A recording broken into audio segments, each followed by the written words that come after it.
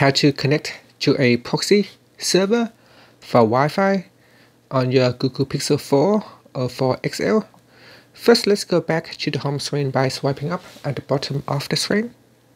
And on the home screen, swipe down at the top with two fingers.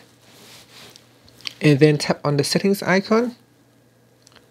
In settings, tap on network and internet. Then tap on internet. Next, choose a Wi-Fi network that you want to connect to. Now tap on the drop down arrow.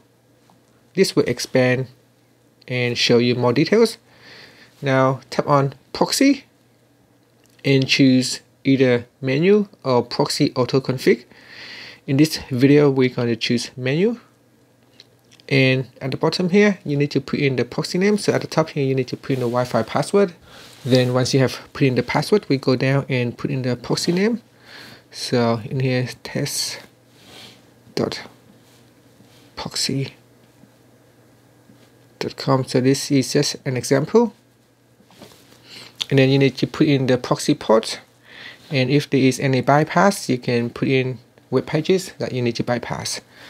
And after that, you can go down and choose whether to use DHCP or static address. And then after that we can um, try to connect to the proxy server. Now you also need to put in the proxy port number and then tap on the connect button.